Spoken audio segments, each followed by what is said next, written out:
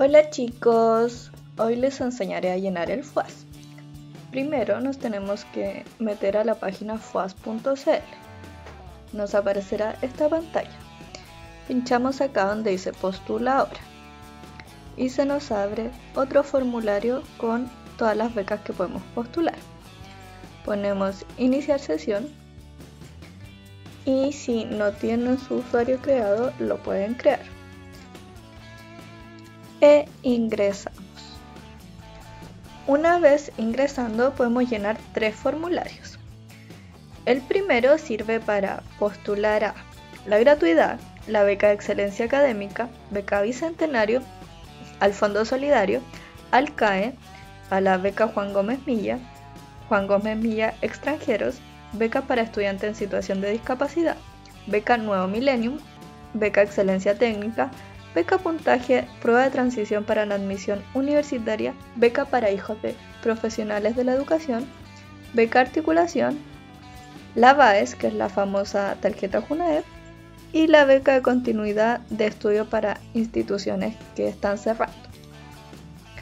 También tenemos la inscripción a la beca vocación de profesor. Y finalmente tenemos las becas de reparación. Nosotros vamos a llenar el formulario para postular a gratuidad, becas y crédito. Mis datos personales están automáticamente acá, al igual que mi fecha de nacimiento. Para las demás opciones se nos despliega una lista para poder elegir.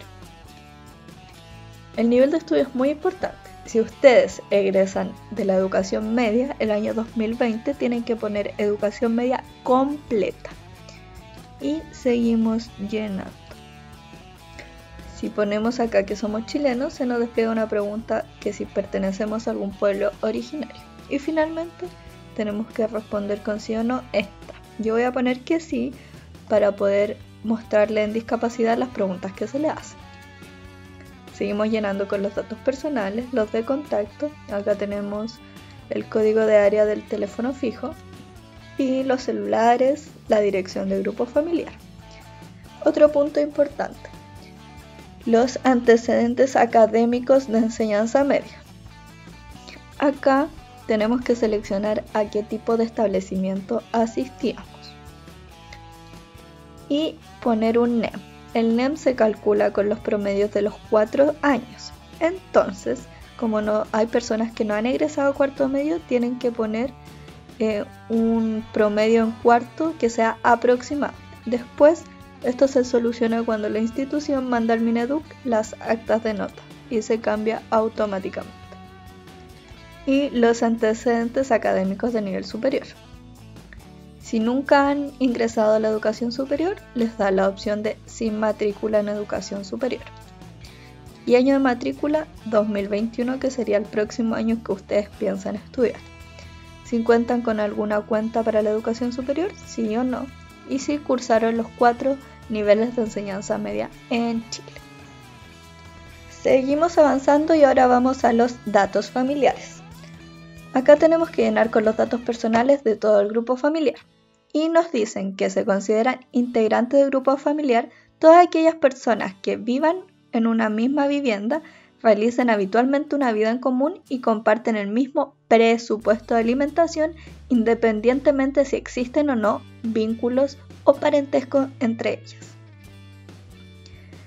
Si una persona se va de su casa y la ausencia supera los nueve meses, no deben considerarla. Y los estudiantes que no residan en el domicilio familiar, pero dependan económicamente del grupo familiar, sí se consideran. O sea, por ejemplo, usted tiene un hermano que se fue a estudiar a Santiago, ya no vive en su casa, pero sí depende económicamente de sus padres, sí deben ponerlo. Entonces acá agregamos familiar. Nos pide root, nombre, apellido paterno y materno, el parentesco que tiene conmigo, el estado civil de la persona, a qué se dedica y el nivel de estudios.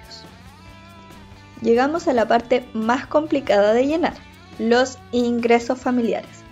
En esta sección del formulario debemos siempre considerar que se ingresa el promedio mensual por cada ítem que se explica más abajo.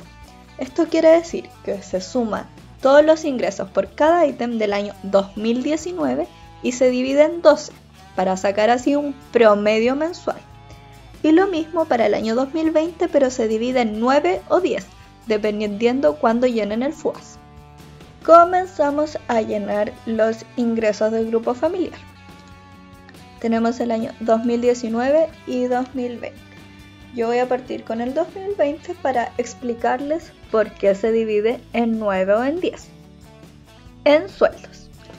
Se debe ingresar un promedio mensual de ingresos brutos. Esto es muy importante. Ingresos brutos percibidos durante el año, descontando las cotizaciones previsionales de carácter obligatorio, que viene siendo salud, AFP y el seguro de cesantía, que son aproximadamente el 20%. En este punto se debe considerar bonificaciones especiales tales como aguinaldo o bonos extraordinarios. Un ejemplo de esto. Juanito ganó mensualmente el año 2020. Estos los sueldos que les voy a decir son brutos. Enero 0, febrero 0, marzo 500.000, abril 450.000, mayo 520.000, junio y julio 0, agosto 600.000 y septiembre 580.000. Si sumamos todos los meses, tenemos un resultado de 2.650.000. A esto le descontamos el 20% correspondiente a los descuentos legales que ya mencioné nos da un monto de 2.120.000. Este monto si llenamos ahora en el mes de octubre, el FUAS se divide por 9, dando un promedio mensual de ingresos de Juanito por concepto de sueldo de 235.555. Ese monto va acá a la casilla. Como ya les expliqué en el año 2020 con el ejemplo de sueldos y por qué se divide en 9 en 10, ahora vamos a hacerlo con honorarios en el año 2019 también con un ejemplo. En honorarios se debe ingresar el promedio mensual de ingresos brutos correspondiente a las boletas de honorarios emitidas durante el año, descontando este valor total un 30%, que corresponde 10% a la retención obligatoria de las boletas y un 20% a las cotizaciones previsionales. Por ejemplo, Pepito prestó servicios mediante una boleta de honorarios en el año 2019 por los siguientes montos. También son brutos. Enero y febrero 0. Marzo 600 mil. Abril 800 mil. Mayo 100 mil. Junio, julio y agosto y septiembre 0. Octubre 80 mil noviembre y diciembre 0. Sumamos todos los meses teniendo como total 1.580.000. A esto le descontamos el 30% que nos menciona. Y nos da un total de 1.106.000. Este monto se divide por 12 porque ya es el año 2019 y ya pasó. Dando como promedio mensual de ingresos de Juanito por concepto de boletas de honorario un total de 92.166. Eso va en la casilla. Seguimos llenando las casillas y nos vamos a pensiones. Acá se debe ingresar el promedio mensual de ingresos brutos percibidos por conceptos de pensiones de vejez, invalidez, sobrevivencia, orfandad u otra. En el caso de las pensiones de vejez o jubilaciones, se deben descontar las cotizaciones previsionales de carácter obligatorio si existieran. Los ingresos por pensiones deben incluir todos los tipos de pensiones, como ya dije, tales como vejez, invalidez, básica solidaria, de gracia, de sobrevivencia, de orfandad, de regímenes especiales tales como exonerados políticos o ley de Balich y Montepíos. Actividades independientes. Son todos los ingresos no especificados anteriormente, los cuales pueden provenir de actividades formales e informales. Por ejemplo, Actividades formales se consideran los ingresos obtenidos por arrendar o subarrendar un bien raíz, casa, departamentos, parcelas, propiedades agrícolas, locales comerciales, estacionamiento, etc. Y por otra parte, en las actividades informales se deben considerar, por ejemplo, los ingresos de los temporeros sin contrato, trabajador de casa particular sin contrato, jardineros, vendedores ambulantes, etc. y también se debe ingresar un promedio mensual percibido durante el año. Como nota, no se consideran como ingresos, becas y subsidio del Estado, aporte de fundaciones o el apoyo de municipalidad. Si en el grupo familiar se tiene una pyme que está legalmente constituida, la información por conceptos de ingreso se lo deben pedir al contador o a la contadora de la empresa. Como les mencioné al principio, yo puse que sí en mi antecedentes personales en esta pregunta para poder mostrarle lo que les preguntan en el tema de discapacidad. La fecha de nacimiento, todas son preguntas de sí o no. ¿Tiene ceguera o dificultad visual de forma permanente? ¿Tiene sordera o dificultad auditiva de forma permanente?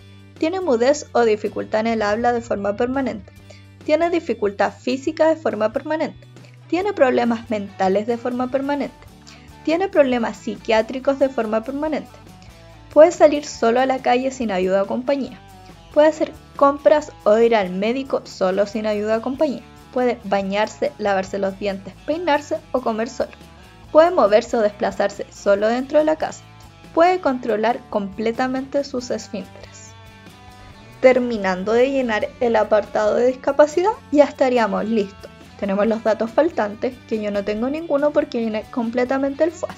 Pero si a ustedes se le olvidó poner algo, ahí va a salir cuántas cosas les faltan y específicamente qué es. Ustedes pinchan y les direcciona automáticamente. Entonces, su formulario está listo para ser enviado. Para finalizar, ingrese su root y contraseña. Entonces bajamos, está el root y la contraseña y tenemos que aceptar los términos de condición. Ponemos finalizar y ahí el FUAS eh, se envía. También les llega un comprobante o lo pueden descargar al finalizar de postulación a los beneficios. Eso sería todo. Que les vaya muy bien. Si ya enviaron el FUAS tienen el comprobante y justo se dieron cuenta que en los sueldos eh, dieron vuelta a los números o consideraron el sueldo del año, no el promedio mensual, no se preocupen porque lo pueden solucionar. Pinchamos acá, eh, nos da una lista desplegable que queremos cambiar y acá ponemos que efectivamente era la información de verdad.